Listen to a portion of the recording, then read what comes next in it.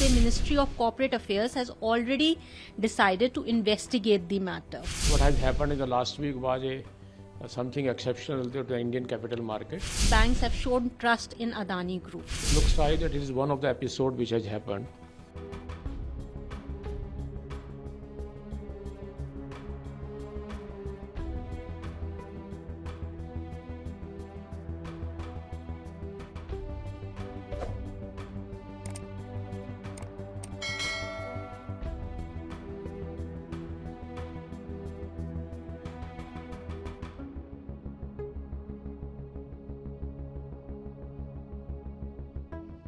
Adani, I think what has happened in the last week was a uh, something exceptional to the Indian capital market.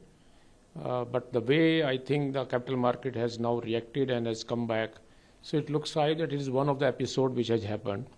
And the finance minister in her interview yesterday has clarified that it is the regulators which are supposed to take care of uh, all the issues.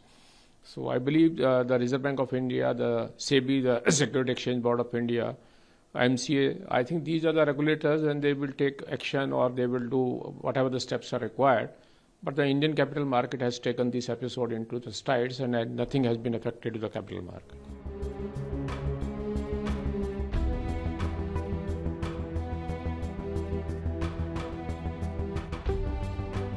If we see today's newspaper also, we will say Ministry of Corporate Affairs has already decided to investigate the matter.